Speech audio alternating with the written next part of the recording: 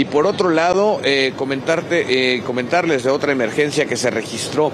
Esto en un hotel ubicado sobre eh, la avenida Revolución, justamente en la colonia San Pedro de los Pinos, alcaldía Benito Juárez. Ahí, bueno, pues un incendio movilizó también a los cuerpos de emergencia y, y eso provocó que por lo menos 400 personas que se encontraban hospedadas en este hotel fueran evacuadas.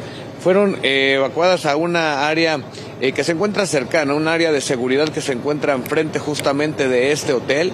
Y por esta razón, bueno, pues se informó durante el transcurso de los siguientes minutos, pasada la emergencia, que estas personas no podían regresar a sus habitaciones debido a que había una gran cantidad de humo justamente en este hotel, humo que iba a permanecer durante toda la noche y era altamente eh, nocivo para las personas, así que tuvieron que ser reubicados. Se habla de por lo menos 400 huéspedes que tuvieron que ser reubicados a, a otros hoteles, así que bueno, pues este hotel no pudo dar servicio durante esta noche.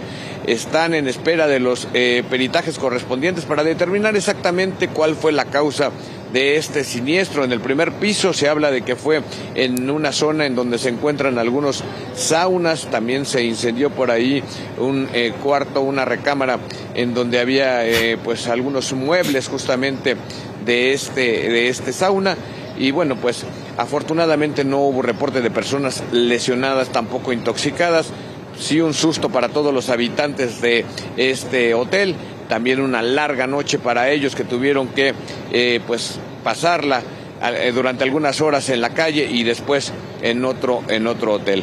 Bueno, pues así las cosas durante esta noche madrugada en el Valle de México. Claudia, Javier. Bueno, pues a pesar del riesgo, en ambos casos afortunadamente es, hay un saldo blanco, no hay víctimas. Muchísimas, muchísimas gracias Guillermo. Mañana nos vemos con más información muy puntuales a las 6 de la mañana. Un abrazo.